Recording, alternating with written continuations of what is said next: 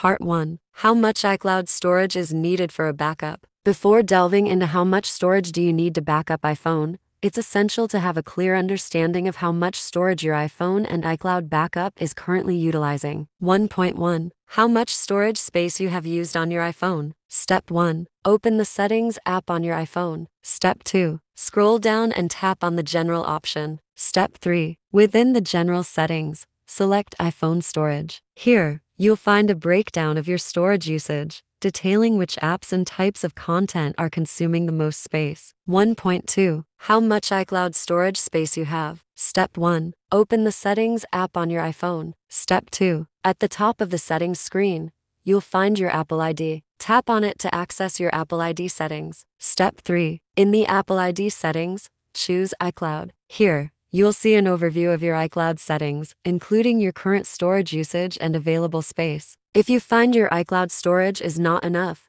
the optimal solution is to buy additional storage like this. Step 1. Navigate to Settings, select your name, tap on iCloud, and then choose Manage Storage. Step 2. Click on Change Storage Plan. Select the plan that suits your needs. Part 2. How to manage your iCloud storage. Once we know how much storage do you need to back up an iPhone, how to manage the iCloud storage to access more storage space. 2.1 Delete unnecessary data. Step 1 On your iOS device, go to Settings, tap on your name at the top of the screen, select iCloud, and then Manage Storage. Step 2 Review each category to identify files or apps you no longer need. Step 3 Tap on the specific category, for example, photos, documents, select the files you want to delete, and tap Delete or Remove. For photos, Remember to check the recently deleted folder in the Photos app. 2.2 Delete old backups. Step 1 In Settings, go to your name and select iCloud. Step 2 Tap on Manage Storage and then Backups. Step 3 Review the list of backups to identify older ones and check the date of each backup to determine its relevance. Step 4 Tap on the backup you want to delete. Confirm your decision by selecting Delete Backup. To prevent unnecessary backups, go to Settings, tap your name, select iCloud, and then iCloud Backup. Toggle off apps or data categories you don't need to back up. 2.3 Use Optimize iPhone Storage. Step 1. In Settings, tap on your name, select iCloud, and then Photos, and toggle on iCloud Photos. Step 2. Still in the Photos settings, select Optimize iPhone Storage. This feature automatically stores full resolution photos and videos in iCloud while keeping a smaller version on your device. Part 3. The best alternative way to back up your iPhone. Step 1. Download,